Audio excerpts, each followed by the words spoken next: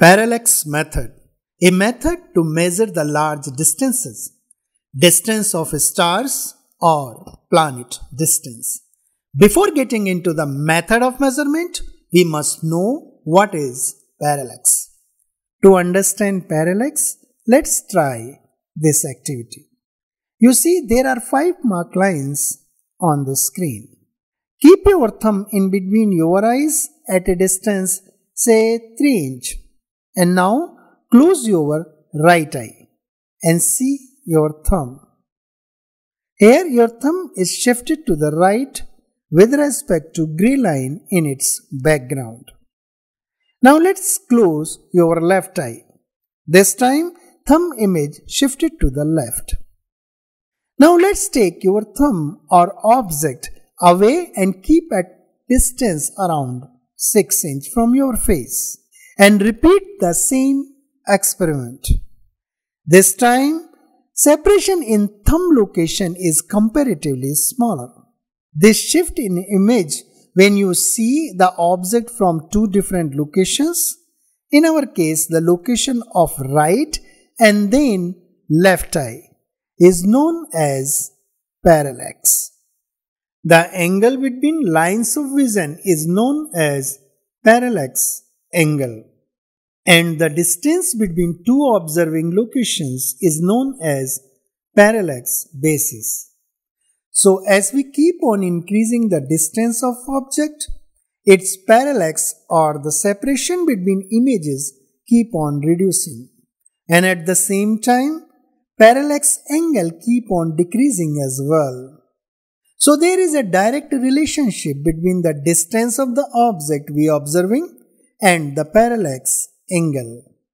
An increase in distance reflect a decrease in parallax angle and vice versa. This relation only help us to measure the distances of stars or planet distance. The same experiment you can do by putting a mark on a wall in front of you and see the shift in your thumb or ruler image. Now let's see using the parallax method how to measure the distances of a star or planet distance. Here you see two diametrically opposite points on the earth A and B. C is a planet for which we need to find out the distance from the earth. A and B are two observation locations similar to our left and right eye. When we see the planet from location A, line of vision is AC and we see the planet image to the right of three blue stars. Similarly, when our observation location is B, we see the planet image to the left of these three blue stars. Now here AB represent the distance between two observing location which is nothing but the parallax basis and the angle theta is angle ACB is a parallax angle and the distance AC is the distance of the planet from the earth. We know that theta in radians can be presented as the ratio of arc upon radius. In our case, theta here is a parallax angle Arc is basically arc AB and radius of the circle is AC which is equal to the distance between earth and planet. So in case when r the distance of the planet is far far greater than the parallax basis which is nothing but the diameter of the earth in this case. In this situation we can say that arc AB is equal to AB, the straight line distance between point A and B.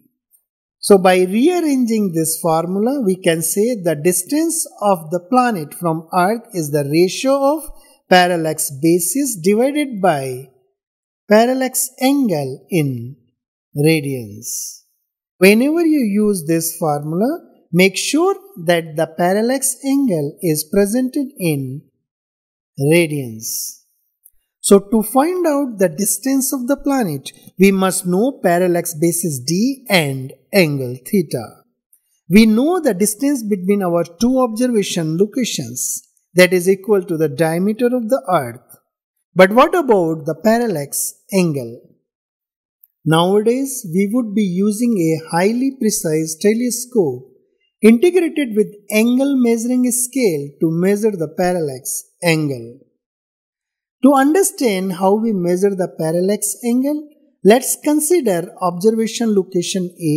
The telescope, the line of vision makes an angle theta 1 with reference line on angle measuring scale. And for location B, it makes an angle theta 2. So the parallax angle can be given by the sum of these two angles theta 1 and theta 2. Now, there might be one more question in mind of students when they are looking the distance r, the distance of planet from the earth.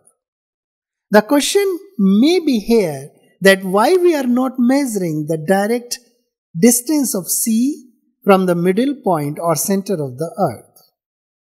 In this case, since r, the distance of the planet is far far greater than the distance between two observation locations A and B, the theta is very small. I will say very small means it is in the range of 1 arc second. And 1 arc second is 1 by 3600th part of 1 degree.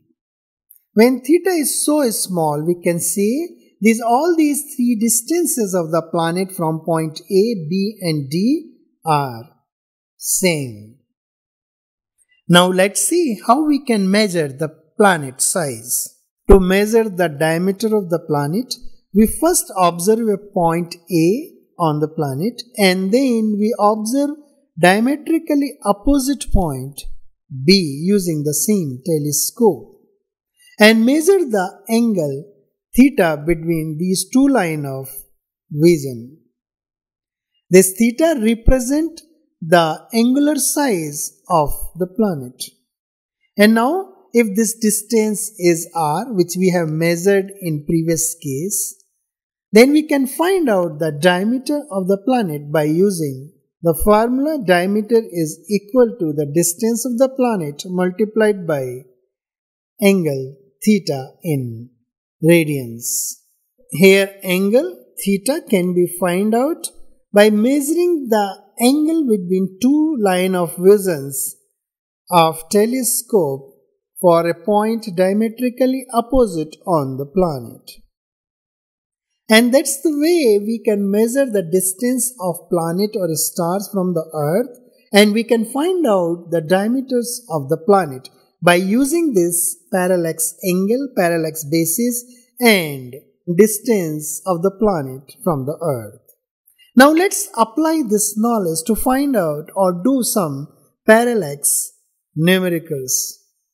Numerical 1. The moon is observed from two diametrically opposite points A and B.